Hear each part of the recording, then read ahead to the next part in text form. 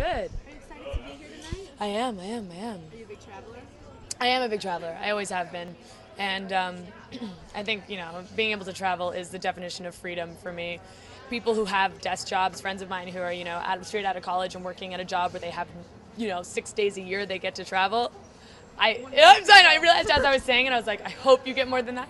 Um, I, I, you know, I feel bad because you can't just take off. And, and one of the great things about my job is I can be like, okay, nothing for a month. I'm just going to go and be and try something new and go somewhere I've never been before. And that's what I want to do. What are some of your favorite spots that you've been to so far? Okay, I love Brazil. I shot a movie in Brazil and I really love it there. I love South America in general. I love um, Mexico. Uh, I love the Yucatan in Mexico. Tulum is one of my favorite places. Um, I'm always trying to get photo shoots for magazines to go to Tulum. I'm like, I have an idea. They're like, we want to do Winter Wonderland. I'm like, in Tulum? How about Winter Wonderland in Mexico?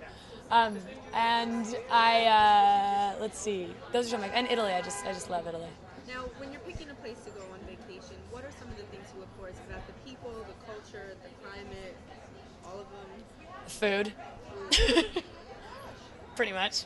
Uh, yeah, the people, the culture, the climate, all of the above.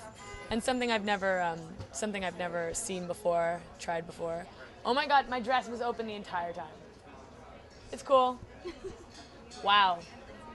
Hi. Yeah, thank you. Those pictures are gonna be fun. Um, I'm like, you little Tara Reid moment. It's okay. Thank you so much. That is hilarious. You're good. You're golden. Thank you. Um, that's so funny. Do you remember how you were saying my dress was so low in the back? Because it was totally open? See, I wanted to say something, but I didn't know. You should have told me. We didn't know. It's okay. Just cut that right out of the. Oops. Um, Last question. yeah. Where, do you have any travel plans this summer? yeah, I'm gonna go to Italy this summer. I'm gonna go to the Venice Film Festival and Capri and Rome. Yeah. And what are you working on currently? I'm doing an off, yeah, I finished that. I'm doing an off Broadway show here in New York at the Clurman Theater.